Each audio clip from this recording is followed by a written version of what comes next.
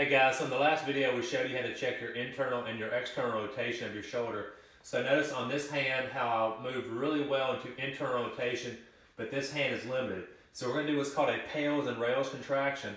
I'm gonna go as high as I can with this arm here. Now first things first, I'm gonna push through my body, which is our pails contraction. I'm pushing through my body for about 15, 20 seconds. Now if you think of your contractions slowly rising up. You just don't want to jam it through your body. You want to kind of slowly dial your tension up. I tell people, think of it like a volume dial. You're slowly turning that volume up as you're pushing tension into your body. Now 15 or 20 seconds here, we want to stop. We don't move our shoulder at all. We now want to work on the rails contraction. We're going to push away from my body. It's been very hard to do this for y'all because this is not a range of motion that you're used to doing, but the idea is as much tension as you can push uh, out without feeling pain. Remember, we keep tension through our body if we can.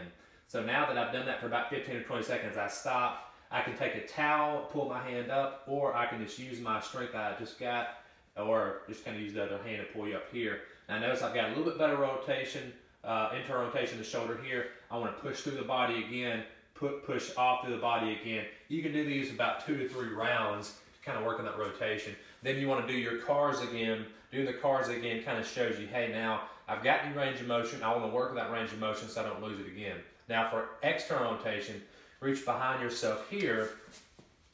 And first things first is we want to lift off the body this time for 15 to 20 seconds with as much tension as you can. Try to just move it just from the shoulder joint itself.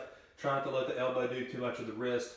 You know, lifting your hand off. Just try to bring your body out just using the glenohumeral joint here. Now 15 or 20 seconds here, you can uh, use a block, you can use your fist, whatever you want to do to push through the hand here. And if you didn't really lift off the body here, you can just kind of use your head. So I'm pushing tension through the hand here for 15 to 20 seconds. And then you'll notice you have a little bit better external rotation um, range of motion there. So like I said, do your cars after or before and after these uh, these checks and then do your pails and rails and then do your cars again to kind of reassess hey, did I get a little bit better mobility? Now that I got a little bit better mobility, which is really cool, I want to keep doing my cars and keep doing these pails and rails so I don't lose that mobility because what you don't use, you will lose.